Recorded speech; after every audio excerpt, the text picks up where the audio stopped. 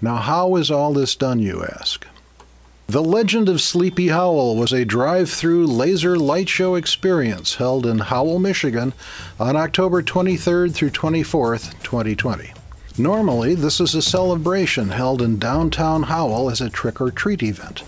But the pandemic changed their plans, so they started looking for something they could do as a contactless drive through event in Schofield Park. They found us via our website and the planning began.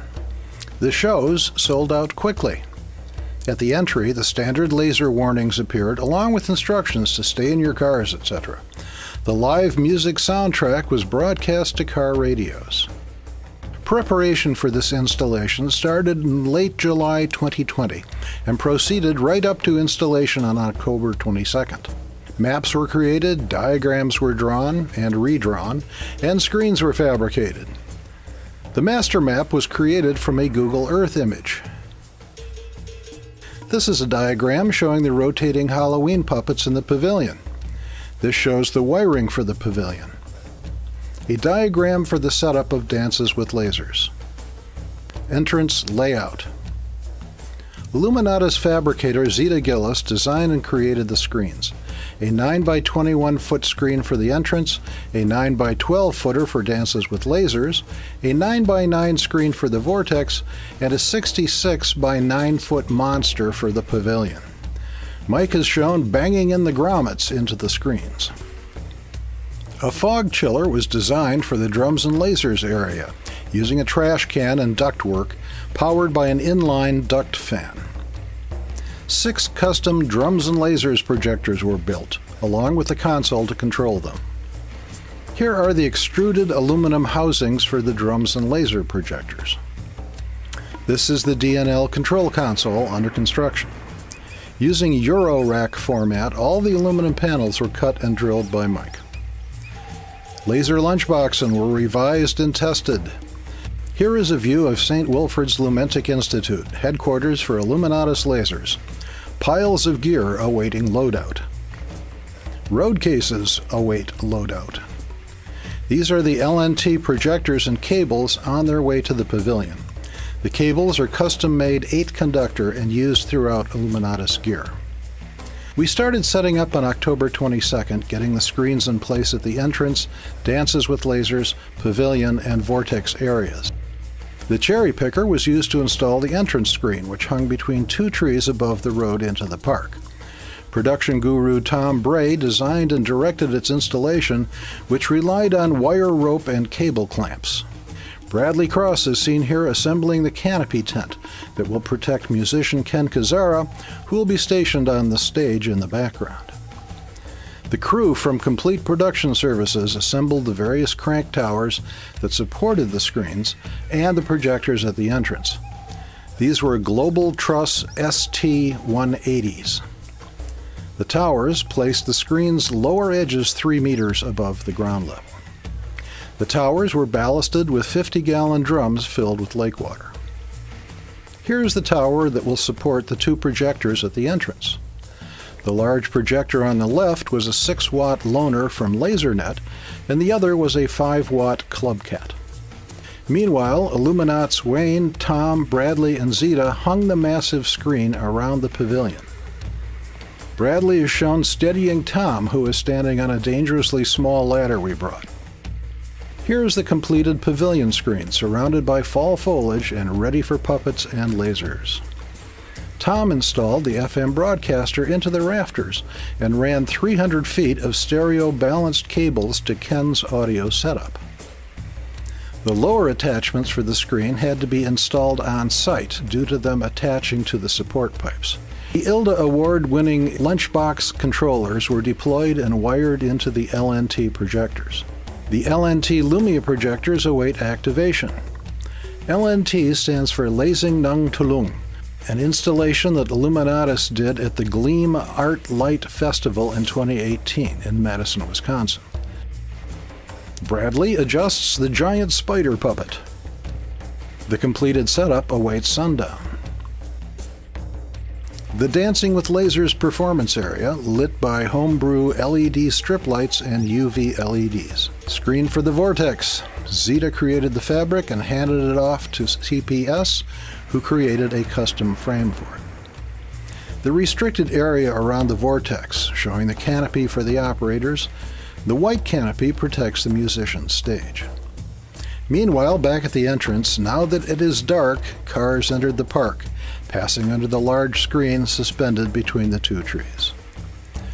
An image of the Galloping Headless Horseman by laser designer Nisha Ramnath led off the presentation, which included welcome notices and thank you messages to sponsors via scrolling text and logos, as well as Halloween imagery. Lovebook was a major Illuminatus sponsor, as was Harmony Hollow. Steve and Ben Rich ran this part of the event. The lasers were controlled by Pangolin Beyond using both an FB3 for the LaserNet unit and an onboard FB4 on the ClubCat projector. Fog generators throughout the show provided for a spooky environment. At the entrance, these were Irradiant VF 1500s. One projector handled the scrolling text and the other did the logos and other images. Dancing with Lasers was a main attraction at the Legend of Sleepy Howell 2020. Dancing skeletons controlling lasers with their movements.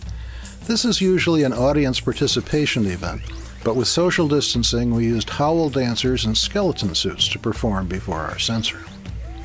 The dancers danced to the music Ken was broadcasting, hearing it via a boombox in the control tent. The images from the Kinect are sent to the laptop loaded with Beyond Ultimate software, which is capable of making mirror images and colorizing them. The Lumia background is provided by two of our custom PVC Lumiators. This is the dance area with an outdoor carpet used to protect the dancers' feet. The road through the park was lined with jack-o'-lanterns and rope lights to direct the cars while keeping the ambient light down. Proceeding down the road through the park, the next apparition is the Haunted Pavilion. The show was an adaptation of Lazing Nung Tulung. There we used Thai shadow puppets for rotational elements. Here we use spooky Halloween decorations to cast scary shadows on the enormous screen surrounding two sides of the pavilion on top of the hill. We had a trio of smaller displays along the route, to fill in some gaps and provide additional Lumia fun. We tack smaller screens along the portion of the split rail fence next to the road and rear projected swirling Lumia onto them. Our production partners, CPS, provided uplights to illuminate the trees in the area. These were DMX LED fixtures on a self-contained color cycle program. The Headless Horseman's entry into our dimension is via a wormhole called the Vortex. The Vortex is a combination of Neon Captain radiator output and Nisha Ramnath imagery. Illuminatus chief engineer Wayne Gillis ran the radiator through a Kvant ClubMax 3000, and the Horseman was run by Pangolin QuickShow software and projected by custom prototype X laser projector built by Bob Snyder. The projection was terminated on a screen that was created by Zeta Gillis, our fabricator. It rained at one point. Here is a shot from below the beamage. The radiator output is on the left, the horseman on the right. Drums and Lasers is a custom built electronic optical laser system designed and built by Illuminatus Lasers director Mike Gould, assisted by Illuminatus chief engineer Wayne Gillis and machinist Bill Witcher. The intent is to create laser beams that pulsate in time to signals received from electronic drums or drum sensors hit by participants at a light art festival. A hit on the drum produces a Lissajous twitch in the laser being projected, in this case down the hill. Bill Witcher devised and deployed the fog system for the hill. He used our venerable F100 fogger, the output of which was run through an ice cube chiller system built into a large bin. From there, the fog went to a manifold and split into two streams, each feeding a long smoke sausage made of tubular plastic film. The Hill of Beams was the grand finale for the show. We had 14 lasers beaming away up the hill, and the new drums and lasers apparatus firing six twitching beams down the hill, all terminating on the ground. We also used our custom linear diffractor, which is called Fanboy. This is oriented vertically, producing beams that march up the hill to intersect with the drums and lasers output. The diffractor is a Mikado grating that we got from John Robertson, reportedly used in the original Laserium. Rehearsal night, we got lucky. The entire park was socked in with fog, providing great beamage. Following nights were not so great with variable winds, but the foggers worked for the most part.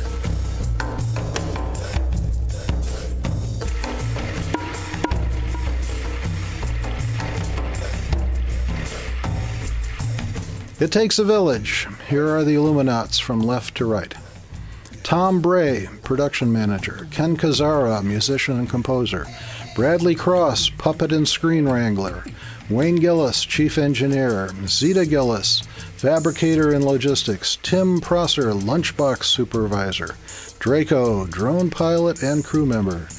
Ben Rich, crew. Jacob Rich, crew. Steve Rich, consigliere and luminary. Bill Witcher, chief machinist and fogmeister. Missing Bob Snyder, crew. Seated is Mike Gould, in charge. Illuminatus Lasers. Runs with lasers.